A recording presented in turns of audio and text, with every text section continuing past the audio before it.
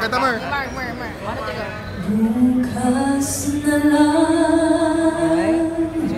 kita mamahalin Sabay-sabay laya